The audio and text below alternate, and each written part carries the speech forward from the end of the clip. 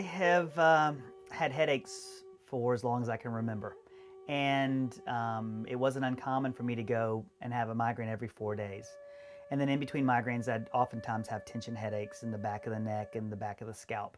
And these headaches became debilitating. And so initially I sought what I would consider traditional treatments, in which I saw a neurologist, two neurologists in fact, um, orthopedic surgeon, and allergist to try to figure out why I'm getting these headaches and, uh, and come up with a treatment plan. And no one could figure out the reason for the migraines as well as no one could give me a good treatment plan that would be preventative. So most of the treatments were all um, just for acute pain.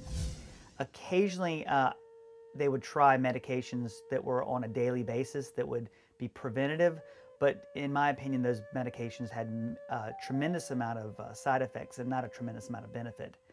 So after that, um, I started to seek more um, uh, non-traditional medical care.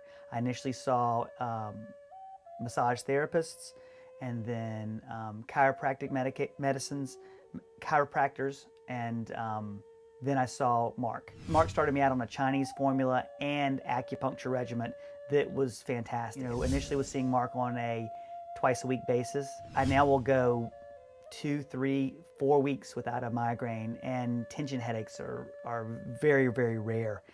And I must admit, I, I want to thank Mark a lot for helping me. He's helped me for sure be a better person, a um, better father, a better husband, uh, and I definitely think a better doctor.